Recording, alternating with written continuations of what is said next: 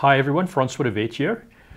Uh, the the video clip or audio clip that is uh, that I'm going to be playing on this video is the prophetic word that I received uh, last year, uh, when beginning of last year on the 21st of January, uh, when I had the vision of the fire and the rain. Now, just to uh, do a, a, quick recap of that for those of you who maybe haven't watched that video. Uh, I was busy shaving uh, during the morning and I just finished shaving when I suddenly saw the continent of Africa in front of me along with the rest of the continents around it. So in other words, you know, it's sort of from a, from, you know, we, like you would see a map of, of Africa uh, in the center and then America on the one side and Australia and, and Europe and Asia and all of that around it. And the next moment, I saw a flame that started at the southern part of South Africa. And this flame erupted and it jumped up inla- inward and caused more flames to erupt. And my first reaction was that it was the coming revival. Because often uh, you find when in analogies and that used in the Bible that sometimes water is used, sometimes fire is used. And so the next moment in the flames, I actually saw the detail of the fire. So I saw rioting, people running in the streets, I saw buildings being burned, I saw shooting, and it was absolute chaos. Uh, that was happening in South Africa wherever these flames erupted. And I was so shocked by this that I actually cried out loud and I said, No, God, this cannot be. What about the revival? And uh, I just, uh, the vision just carried on. Um, as I've shared before, I have no control over the visions. I have, I don't have a say about when they happen, how they happen, and as this vision carried on, I saw these flames erupting everywhere. And the next moment, the flames jumped over the northern border of South Africa up into Africa. And again, in the flames, I would see the detail. In other words, I saw migrants fleeing from South Africa over the border up into Africa, which is what the flames skipping across. And as they jumped over the border, I saw a, a, fire erupt in Africa that was not like in South Africa. In South Africa, it was like uh, you know, like uh, how can I put it, like flare-ups of fire and then smaller fires and that. But the fires would some would they would erupt and then it would become a smaller fire, and then another fire, little fire would erupt and become a big fire. But every time there was an eruption like that, more little fires start started and that. But when it went over the northern border, it was it was like a forest fire. It's the only way to describe it. I saw this fire sweep through Africa all the way. It was burning upwards through Africa, up all the way to northern Africa. And then I saw the fire jump over the, the top part of Africa into Europe, and the fire spreading across the whole of Europe, all the way uh, to the side to Russia, to Asia, and then all the way down New Zealand, Europe on the other side, America, Canada, uh, down even into South America. Uh, the, the, this fire just carried on burning. And the same detail in the flames is what I saw before, just much worse. Uh, in Africa, it was at its worst. In Africa, it was full on civil wars, uh, tribalism, that kind of thing, the most horrific things that I saw in these flames. By then, my, my, my legs gave way under me and I was down on the ground sobbing. Um, and at that point, I saw, uh, at about the time when the flames reached the northern part of Africa, I saw rain descending on again the southern tip. And as this rain began to fall, it quenched the fire. Now, there's a detail that I left out about the fire, and that is these fires were almost selective. And it was the only way I can describe that is there were areas where the flames went around and there were areas that were not burnt. Sometimes these areas would be a town. Sometimes it would be a, a family. Sometimes a house. Sometimes a school. Sometimes, in other words, they, these flames sometimes just literally went around places and people. and uh, it was like they enjoyed a, a protection or something from this fire. And when the rain came, the earth was burnt black, but everywhere there were these areas that where the fire had not burnt. And as the rain fell, this black burnt soil began to sprout, and new plants began to grow, and life began to uh, come forth from this destruction.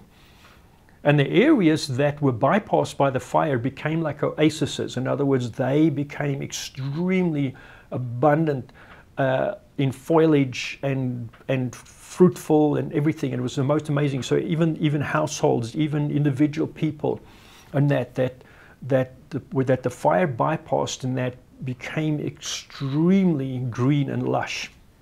And the same thing in Africa. There were areas in Africa where the fire uh, did not destroy, and that and the same thing happened. But even in Africa, where it was burnt to nothing, the, it began to sprout, and new life began to grow all over up into Africa. And then the same thing happened in Europe, and the same thing. And this rain just continued to fall all over the world. And then the vision ended. And it was at that point. By, by then, I, I, I was I was a mess. I was I was uh, uh, uh on the ground. I, I, I managed to get through to the bedroom and I knelt at the bed and I was sobbing and I said, Lord, there has to be another way. There has to be another way. And God spoke in a voice that was so gentle, so understanding, filled with so much compassion, unlike anything I had ever heard. And He said, Son, you know there's no other way. But I continued to beg with God. And I said, Lord, you there has to be, there has to be another way. And again, he spoke and he said, Son, you know there's no other way. And then he began to explain to me, and he said, If I allow unrighteousness to just continue, there will be nothing left. He said, That's why the earth was destroyed by water, because if I had left it, there would not have been any righteous people left. There would be nothing. There wouldn't have been, and the earth wouldn't have continued. It would have been totally destroyed by the ungodliness. And he said, in the same way, he reminded me of the parable of the wheat and the tares, where it speaks about, where it says that I will remove from my kingdom everything that offends, so that righteousness can flourish. And he showed me that when his judgment falls, it has a purpose. In other words, the judgment of God is so that life can come forth, so that righteousness can flourish on the earth, so that mankind can have hope and have a future. It is not just to destroy, it is the removal of the ungodly, and I will be speaking about some things about that.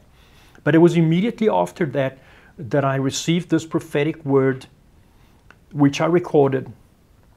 And um, I'm sharing that with you now. And this is a word directed towards the ANC, towards South Africa and Africa. May God bless you.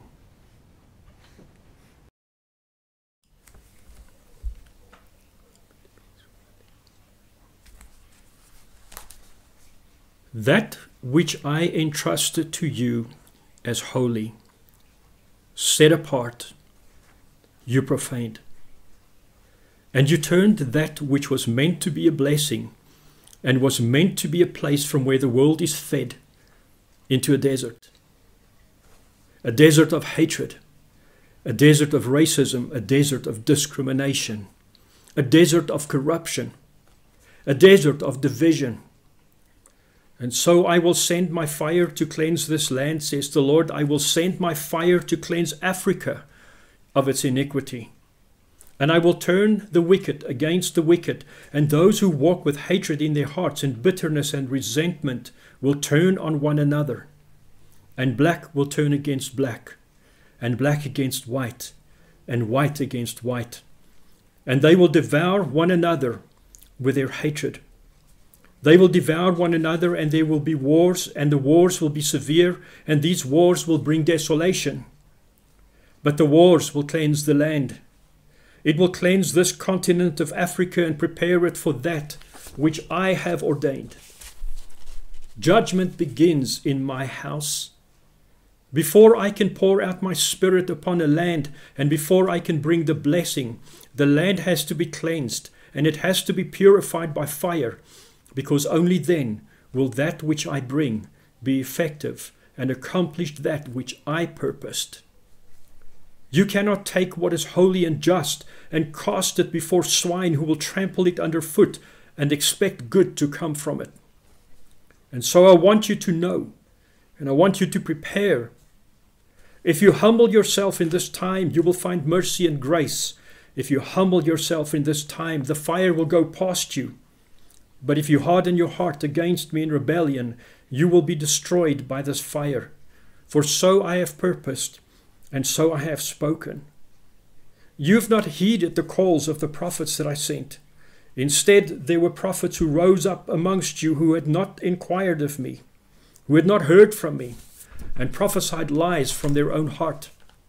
Because if I had sent them, they would have called you to repentance. If I had sent them, they would have warned you of the coming disaster and turned your hearts towards me in repentance. But instead, they strengthened the hands of evildoers. Instead, they said, Peace, peace be unto you. No evil shall come upon you. You will be blessed. You will be prosperous. But I did not send them. And so they will be destroyed along with the wicked. The very hands that they strengthened and lifted up in evil, in violence, in hatred and rebellion will destroy them. But I want you to know that if you humble yourself before me, my mercy and grace will be great upon you, and this fire will not touch you. And even if you are in the midst of the fire, you will not even smell like smoke, for I, the Lord, will be your protector and your keeper in this time. And as I show you mercy, you will show mercy. As I pour out grace upon you, you will pour out grace on others, for so I have purposed. Turn to me. Turn to me in this time. Turn to me in repentance and brokenness and asking forgiveness for the iniquity that is in this land and is in your hearts as a people. You keep on pointing the finger at other people, but none of you want to point the finger at self and say, What has been my contribution to this that is coming upon this continent? But this is about to change. It is about to change, says the Lord. For I will come and rain upon this earth living water. And this living water will restore what was devoured by the fire. But it will restore in righteousness and truth and holiness. And I will send people from all over the world, and they will come to this nation. In this time when this nation is on its knees, when it is broken before me, and it seems as if there is no hope, I will send my rain. But not only will I do that, I will send people. I will cause people to come upon this land and descend upon this land not to destroy it, not to abuse it, but to build it and to restore it. I will send people from the north, the east, and the west, and they will come from everywhere.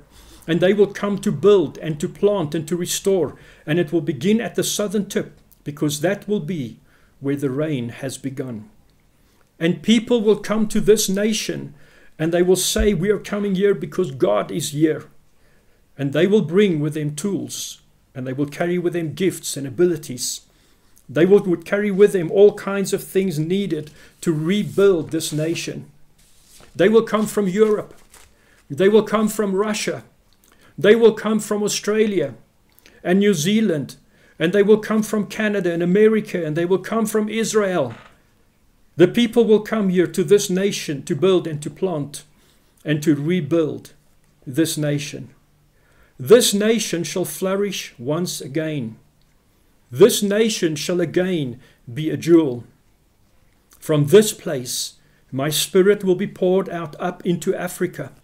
From South Africa, the people will move up into Africa and they will rebuild Africa and repopulate Africa.